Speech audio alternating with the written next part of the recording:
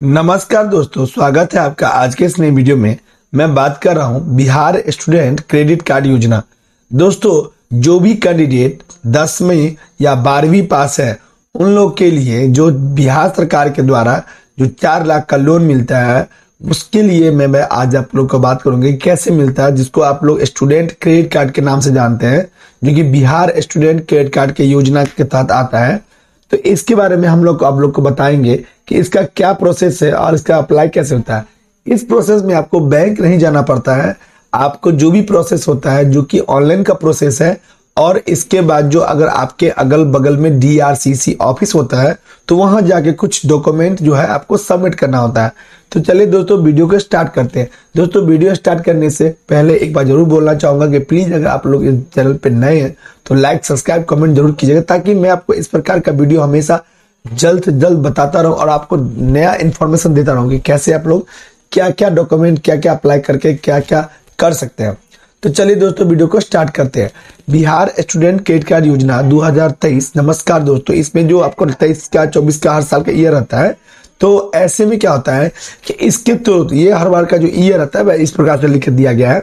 तो इस credit card योजना के तहत जो आपको है, चार लाख का तक बिहार स्टूडेंट क्रेडिट कार्ड योजना तक का मदद मिलता है, ठीक है? चार लाख तक का, जो कि आपको आपको जानकारी के अनुसार बता दें कि इसका जो शुभ आरंभ श्री नीतीश कुमार जी के द्वारा आपको 2 अक्टूबर 2016 में किया गया था, ठीक है? क्योंकि इसमें क्या होता था दोस्तों कि जो भी कैंडिडेट ट्वेल्थ पास कर लिया और उसको आगे पढ़ना है किसी कारण से उसको ट्वेल्थ पढ़ने के बाद अपना जो उसका खर्चा होता था, जो भी सब्जेक्ट या जो चीज़ के लिए वो पढ़ाई करना चाहते थे, जैसे B A B S C B किसी भी तरह का पढ़ाई करना चाहते थे तो उनको पैसे की दिक्कत होती थी तो वो नहीं पढ़ पाते थे। तो इस वजह से इसके लिए श्री नीतीश कुमार जी के द्वारा ये चलाया गया अभियान कि चलो, जो भी स्टूडेंट पढ़ के आगे बढ़ना चाहते हैं, उसको हम लोन देंगे और वो पढ़े, जब पढ़ लेगा, उसके बाद वो उसका लोन को धीरे धीरे चुका भी देगा, ठीक है? तो लोन तो चुका नहीं है मगर इसमें क्या मिलता है ना कि आपको कम ब्याज दर पर लोन मिलता है, जो कि आप पढ़ने के लिए लेते हैं, ठीक है? आपको पर्सनल यूज़ के लिए नहीं सिर्फ़ पढ़ने के लिए आपको दिया जाता है, ठीक है? तो जो भी कैंडिडेट जिस भी तैयारी कर, जो भी चीज़ तैयारी करते हैं, जिस चीज़ के लिए पढ़ाई करते हैं तो वो लोग चाहते हैं कि हम लोग पढ़ने में उनको दिक्कत हो रहा है तो पैसा ले या मतलब क्रेडिट कार्ड ले तो वो लोग लेके पढ़ सकते हैं। तो चलिए दोस्तों वीडियो को थोड़ा सा और जानते हैं। इस प्रक्रिया में क्या होता है दोस्तों, कि इससे जुड़ी छोटी छोटी जानकारी विस्तार बताई गए जैसे कि योजना का लाभ कौन ले सकता है, ठीक है? इसका क्या पात्रता होगा जो भी कैंडिडेट इसमें ले, क्या डॉक्यूमेंट लग गया, ये सब के बारे में, ठीक है? चलिए, इस प्रकार से इसमें सबसे पहले यहाँ पर दिया गया जो स्कीम का नाम है, बिहार स्टूडेंट केट योजना 2023 24 हर साल का ईयर रहता है, अभी इस पर तेईस का पुराना का दिखा रहा है, मगर इस पर चल रहा है, वो हर साल चलते रहता है, ठीक है? चलिए तो इसमें क्या है दोस्तों, जो भी कैंडिडेट इसमें लोन लेना चाहते हैं तो इसमें क्या होता है कि ये जो लोन मिलता है ये आपको स्टूडेंट क्रेडिट कार्ड जो कि बिना किसी गारंटी के उपलब्ध में आपको न्यूनतम ब्याज दर पर मिलता है, ठीक है? न्यूनतम ब्याज दर पर। और इसका क्या प्रोसेस है? दोस्तों वीडियो में से आप अभी तक अगर देखें तो थोड़ा अच्छा से देखिए, थोड़ा ध्यान देखिए मैं थोड़ा धीरे आपको बताऊँगा, मगर पूरा क्लियर बताऊँगा ताकि आपको ज़्यादा परेशानी नहीं हो। और आप भी खुद इसको अप्लाई भी कर सकते हैं। स्टेप बाय स्टेप बताऊँगा, पहले बताऊँगा, आज नोटिफिकेशन आपको पूरा बताऊँगा क्या, कैसे, क्या डॉक्यूमेंट चाहिए। अगर आप फॉर्म भरना चाहेंगे तो इसका वीडियो भी बनाऊँगा। कि आप कैसे फॉर्म को अप्लाई करेंगे। तो दोस्तों यहाँ पे एक चीज़ क्लियर कर दिया गया है क्लियर कर दिया गया है कि जो भी कैंडिडेट बारहवीं कक्षा पा, पा, पास की है वह आगे की पढ़ाई के लिए सक्षम नहीं होते तो उन्हें चार लाख तक का वित्तीय सहायता राशि उपलब्ध कराई जाती है ठीक है? जो भी कैंडिडेट इसमें ब्याज जो देना बनता है उसके लिए दिया गया है कि केवल बिहार राज्य के छात्र छात्रों को ही दिया जाएगा और इस लाभ को लेने के लिए छात्र छात्र कहीं उच्च शिक्षा प्राप्त करने के लिए दाखिला हो या इस लोन में शिक्षण संस्थानों के शुल्क साथ में खाने, पीने, पाठ्यक्रम, सामग्री से संबंधित खर्चे शामिल होंगे। ठीक है? इसमें आवेदन भी कर सकते हैं। इसके लिए क्या सिस्टम है, समझ लीजिएगा। जो भी दसवीं पास कैंडिडेट अगर इस पर लोन लेंगे ना तो उनको दस परसेंट ब्याज पे मिलेगा। ठीक है? चार लाख। और जो ट्वेल्थ पास कैंडिडेट होंगे, जो ट्वेल्थ पास कंप्लीट होंगे वैसे कैंडिडेट जो लेंगे तो उनके लिए क्या सिस्टम है, उसको समझ देते हैं। ये जो आपको लोन मिलता है, इसमें आपको बयालीस वर्षों के लिए इसको उठा सकते हैं। मतलब आपने लोन लिया तो इसमें कम से कम आपको टाइम मिलेगा इसको चुकाने का बयालीस वर्ष तक, ठीक है? अब हम लोग इसमें ये समझ लेते हैं कि बिहार स्टूडेंट क्रेडिट कार्ड योजना में जो कोर्स होता है कि किस किस चीज़ के लिए हम पढ़ाई के लिए पैसा ले सकते हैं। तो सबसे पहले B A B S C B com B C A B S C I T computer application computer science B S C agriculture BSc library science BSc BTech hotel management diploma hostel management BSc agriculture BSc library science BSc BTech hotel management diploma in hostel management इस प्रकार से दोस्तों, इसमें आपको total जो है इकतालीस, बयालीस प्रकार के टोटल कोर्स है जो यहाँ पे दिखा गया। इसमें कोर्स जो है, बयालीस कोर्स में अगर दाखिल करवाते हैं तो इसमें मतलब बयालीस प्रकार का कोर्स है इसमें, ठीक है?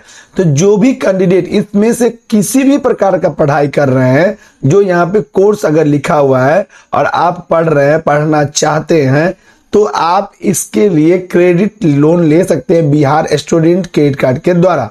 ठीक है? तो जो भी कैंडिडेट इसमें लेना चाहते हैं, वो इसके वेबसाइट पे जाके ऑनलाइन तो कर ही लेंगे। अब इसके जो डॉक्यूमेंट है, इसके बारे में आपको थोड़ा सा मैं बता दूँ कि इसमें जो कुछ क्वेश्चन है आप लोग के, जैसे कि कैसे और किसको मिलेगा इसका लाभ क्या क्या दस्तावेज़ लगेगा, कितने दिनों में लोन मिलेगा, कब तक चुका सकते हैं लोन लोन लेने से पहले ज़रूर देखिए, ठीक है? तो इस प्रकार से सिस्टम को समझ लीजिए कि इसमें आपको आवेदक का आधार कार्ड लगेगा, जो डॉक्यूमेंट आप पूछ रहे थे। दसवीं और बारहवीं दोनों का मार्कशीट और सर्टिफिकेट आपको लगेगा। शैक्षणिक संस्थान में दाखिला का प्रमाण पत्र चाहिए। मान लीजिए आप बी ए ग्रेजुएशन जो कर रहे हैं तो एडमिशन का जो रिसीविंग होता है आपको, वो आपको देना चाहिए। ठीक है? इसके बाद माता पिता और गारंटर जो भी आप लोग के गारंटर बनेंगे, उनका माता पिता और गारंटर के दो फ़ोटो लगेंगे। निवास प्रमाण पत्र आय प्रमाण पत्र आवेदक का फोटोग्राफ बैंक अकाउंट पासबुक माता पिता के खाते का छह महीने का स्टेटमेंट मोबाइल नंबर आवेदक का पहचान पत्र, ठीक है? ये आपको इतना सारा डॉक्यूमेंट इतना सारा दस्तावेज़ आपको पहले होना चाहिए। मान लीजिए आप इस चीज़ का अप्लाई करते हैं तो ये सब आपको पहले से ही आपका पेपर होना चाहिए, तभी आप इसका अप्लाई कर सकते हैं, ठीक है? चलिए, इसके बाद यहाँ पर दिया गया है कि बिहार स्टूडेंट क्रेडिट योजना के तहत जो लाभ दिखने के बाद आपको पात्रता बिहार स्टूडेंट क्रेडिट पात्रता के होने के लिए आप बिहार के निवासी होने चाहिए और आप किसी भी मान्यता प्राप्त संस्थान में उच्च शिक्षा प्राप्त के लिए दाखिला करवाए हो, ठीक है? एप्लीकेशन जो है, आपको बिहार स्टूडेंट कार्ड के लिए एक बार आवेदन कर देते हैं तो आपकी एप्लीकेशन की जाँच की जाती है, जिसके द्वारा दिए गए सभी दस्तावेज़ जाँच की जाती है और सत्यापन करने के बाद ही आपको जो बैलेंस मिलता है, जो राशि मिलती है, उसकी स्वीकृति प्रदान होती है, ठीक है? चलिए, इसके बाद यहाँ पर दिया गया कि बिहार स्टूडेंट क्रेडिट का जो लोन है अप्लाई कैसे करें? स्टेप बाय स्टेप है। ये आपको मैं नेक्स्ट वीडियो में बताऊँगा कि अप्लाई कैसे करते हैं। फ़िलहाल जो मैंने अभी आपको बताया कि इसका जो लोन का सिस्टम है, वो कैसे मिलेगा किसको मिलेगा, कितना डॉक्यूमेंट लगेगा, वो चीज़ मैं आप लोगों को क्लियर कर दिया हूँ कि आप लोग किस कोर्स के लिए ले सकते हैं। तो कोर्स का पूरा नाम आप लिखा हुआ है। आपको अगर इस वीडियो में पॉज करके नहीं समझ में आता तो पॉज करके देख लीजिए। वैसे नहीं समझ में आता है तो आप इसके मेन मेन वेबसाइट जो उस पर भी देख सकते हैं। या आपको ऑनलाइन अपडेट एसटीएम बिहार जो है, इसके साइट पे भी इसका जो लिंक दिया गया, आप वहाँ से भी चेक कर सकते हैं। ठीक है दोस्तों? जो आपको इसमें किस प्रकार का लोन है, और मतलब कितना डॉक्यूमेंट लगे, ये सब चीज़ आपको क्लियर कर दिया गया ठीक है? और इसमें आपको जो ब्याज दर है, वो कितना परसेंट है, वो भी चीज़ क्लियर कर दिया इसमें ना दोस्तों, एक चीज़ और ध्यान रखिएगा, जो भी फीमेल कैंडिडेट है, अब मेल कैंडिडेट है फीमेल जो भी कैंडिडेट है, अगर वो लोग जो अप्लाई करती है तो उनको एक परसेंट ही लगता है ब्याज दर, ठीक है? जबकि जो भी कैंडिडेट जो छात्र है, जो छात्र का जो लगता है मतलब जो भी बॉयज़ है, उनको चार परसेंट का ब्याज दर लगता है। फीमेल और जो आपको विकलांग, उनके लिए एक परसेंट का ब्याज दर है, ठीक है? मगर उसका भी जानकारी आप स्टेप बाय स्टेप आप इसके मेन क्योंकि आप जब पूरा काम कर लेंगे तो आपको एक बार डीआरसीसी ऑफ़िस में जाके, जो आपके अगल बगल पड़ता होगा, आपको वहाँ जाके आपका डॉक्यूमेंट आपका पेपर सब जमा करना होता है। तो इसके लिए आपको सबसे पहले जो जितना डॉक्यूमेंट है, ये सब आप उपलब्ध कर लीजिए। आप ऑनलाइन भी कर सकते हैं। ये स्टेप बाय स्टेप मैं आपको बता दूँगा और आपको स्टेप बाय स्टेप अप्लाई करेगा जो रिसीविंग निकलता है, वो भी ले जाके आपको डीआरसीसी ऑफ़िस से जमा करना होता है। तो ये सब चीज़ क्लियर है दोस्तों। अगर आप लोग को वीडियो में कुछ नहीं समझ में आए तो आप प्लीज़ मुझे कमेंट कीजिएगा, मैं आपको इसका जवाब ज़रूर दूँगा। और नेक्स्ट वीडियो मिलते हैं दोस्तों, जब मैं आपका एक वीडियो बना के बताऊँगा कि आप इसको स्टेप बाय स्टेप अप्लाई कैसे करेंगे। थैंक यू दोस्तों।